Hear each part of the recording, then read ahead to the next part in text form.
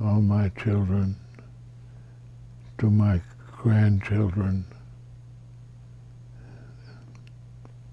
and any descendants who can hear this and know how much I love you and how much I have labored to be a good father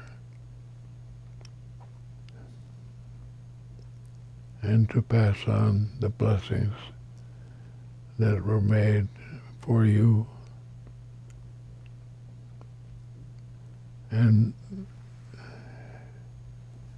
give to them, Lord, all the blessings you gave to me and help them to walk through the future with a chance to get to heaven and the everlasting glory of your company, Jesus. You went through terrible, terrible agony in your surrender to the evil people in Israel where you were beaten and brought down before everybody and you persisted in giving your life for us to show us how much you loved us and how much you cared about us to be part of your legacy to your Father and cement a feeling of love between the Father, Son, and the Holy Spirit.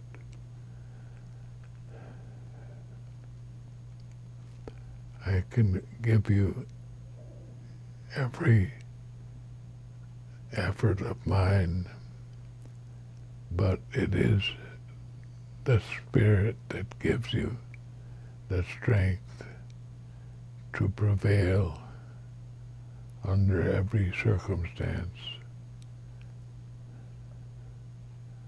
I know He's done a lot for you and will continue to bless you and give you strength to do whatever He wants. Glory to the Father and to the Son and to the Holy Spirit.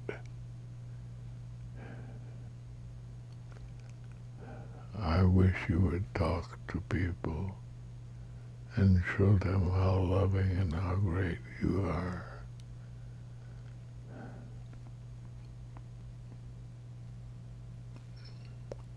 Holy Spirit, you've been so nice. And for 55 years, you came to me when I was in front of an audience and taken over and spoken your heart. We need you at this time with all the disasters and trials we're being put through. I know you told me it was the end time, and that's why this is probably important. I don't know if that was you that put me in a dream where the whole Catholic Church opened their heart to every other religion. And I was made aware of a beautiful ending to our time on earth when all religions and all who sacrificed to you were put into one holy Catholic and apostolic mode so that they all came together and made one beautiful congregation of love for you and yours and brought about what the Holy Father has indicated would be something beautiful.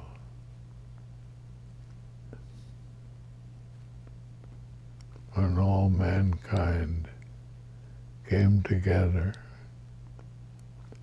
and offered up their love for you.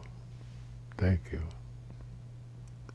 And if I've offended you by trying to orchestrate something because you said it was the end time.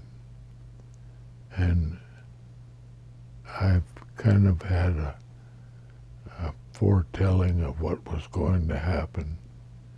And before that happens, I want to see the unification of all religions and all of society